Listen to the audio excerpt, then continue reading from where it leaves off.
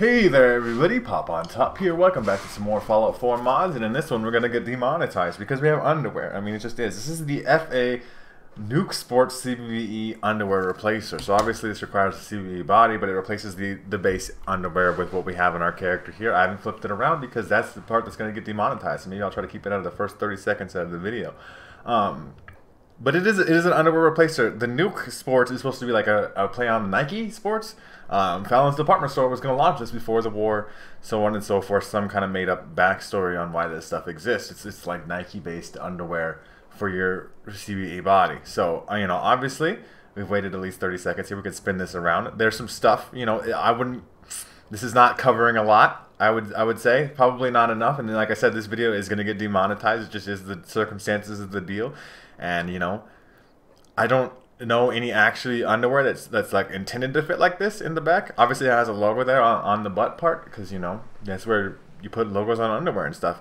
The mod is intended to look kind of like weathered and, and messed up, like because it's been around a long time and it makes sense that you know your underwear wouldn't stay nice. I guess you didn't make it fresh, brand new.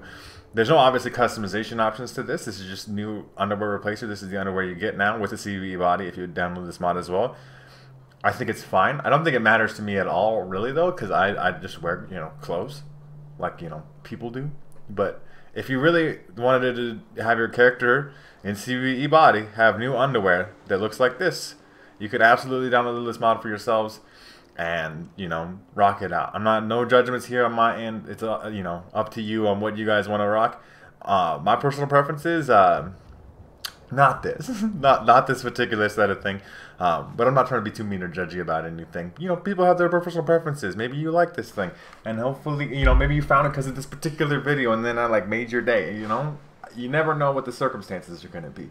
If you do want to check out this mod for yourselves, make sure to check out the top link in the description. There'll be a link there to the Bethesda.net page, so you can download this mod for yourselves there, or the Nexus mod page if it's available on PC and stuff.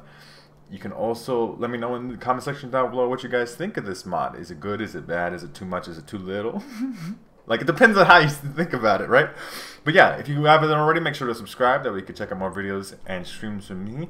And pretty much other than that, you guys have a good rest of your day, or whatever it may be, and I'll see you in the next episode.